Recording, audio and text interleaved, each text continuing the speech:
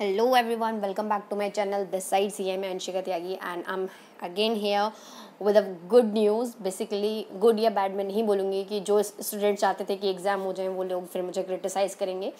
और बैड में इसलिए नहीं बोलूँगी कि जो लोग चाहते थे कि एग्ज़ाम पोस्टपोन हो जाएँ तो इन चीज़ों को अलग रखते हैं गुड था या बैड था। आईसीएसआई का फाइनल डिसीज़न आ गया कि उन्होंने एग्ज़ाम को पोस्टपोन कर दिया वीडियो का मेन पर्पस ये बताना नहीं है कि एग्ज़ाम पोस्टपोन हो गए हैं। वीडियो का मेन पर्पस ये बताना है कि उसका बेसिकली टाइम टेबल क्या रखा गया है। कब आपका कौन सा एग्ज़ाम होगा वो टाइम टेबल मैं पूरा आपके साथ डिस्कस करूँगी।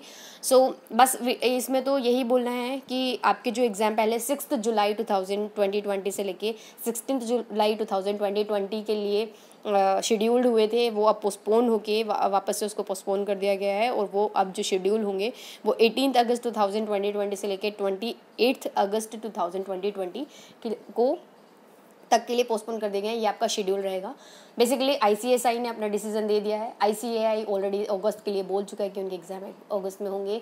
वेयर एज आई का अभी कोई रिएक्शन नहीं आया है तो जो सी स्टूडेंट्स हैं लेट्स वेट वॉट अगर मैं अपना पर्सनल ओपिनियन बताऊँ तो मेरे को लगता है obviously C I C M A आई के एग्ज़ाम भी पोस्टपोन होंगे। बट आप लोग अपना प्रिपेयर रहो क्योंकि आपको इस चीज़ से मतलब नहीं होना चाहिए कि आपके एग्ज़ाम कब पोस्टपोन हो रहे हैं। पढ़ना तो आप लोगों को है ही। अपनी नॉलेज को ग्रो अप करते रहो पढ़ते रहो कंटिन्यूसली सो अभी हम चलते हैं कि एग्ज़ाम का शेड्यूल क्या रखा है उन्होंने।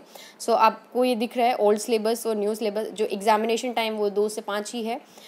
एटीन जो ओल्ड सिलेबस वाले हैं और न्यू सिलेबस वाले हैं।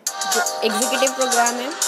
एग्जीक्यूटिव प्रोग्राम वालों के लिए जो फ़र्स्ट डेट रखी गई है एग्ज़ाम की, वो एटीन, नाइनटीन, ट्वेंटी और ट्वेंटी वन को है। ट्वेंटी टू और ट्वेंटी थ्री को कोई एग्ज़ामिनेशन नहीं है, ना ही ओल्ड सिलेबस वालों का, ना न्यू सिलेबस वालों का। ट्वेंटी फोर को कम, ट्वेंटी फाइव, ट्वेंटी सिक्स को है। ट्वेंटी सेवन को कोई एग्ज़ाम नहीं है ट्वेंटी एट को कोई एग्ज़ाम नहीं है ये फ़र्स्ट एग्जीक्यूटिव वालों का है। और कौन कौन से एग्ज़ाम है वो बेसिकली वो चीज़ तो सेम ही रहती है हर बार uh, जो पैटर्न होता है एग्ज़ाम का वही होता है कि किस uh, कौन सा एग्ज़ाम पहले होगा कौन सा बाद में होगा। उसी तरीके से आप लोग uh, देख सकते हो कि जो फाइनल वाले हैं जो लाइक प्रोफेशनल वाले हैं उनका जो एग्ज़ाम सैटरडे संडे में उनका कोई एग्ज़ाम नहीं है। यार सी एस वाले इस चीज़ में बड़े अच्छे हैं कि सैटरडे संडे में कोई एग्ज़ाम नहीं लेते हैं। इवन आई वाले तो संडे में भी एग्ज़ाम लेते हैं। उनको अपनी कंटिन्यूटी मेंटेन करके रखनी होती है। वो तो संडे में भी एग्ज़ाम लेते हैं। सो so, बेसिकली आपको दिख रहा है कोई लीव मुझे दिख नहीं रही है इसमें। एक एक दो बस सैटरडे संडे की लीव आपको मिल रही है। और ट्वेंटी एट को आ, जो फाइनल वाले हैं उनका इलेक्टिव पेपर है। आप लोगों के साथ ये शेयर करिए। आप लोग स्क्रीनशॉट ले सकते हो उस चीज़ का।